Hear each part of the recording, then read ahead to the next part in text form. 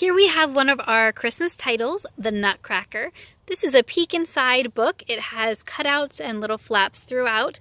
It's a sturdy board book with cardstock type pages.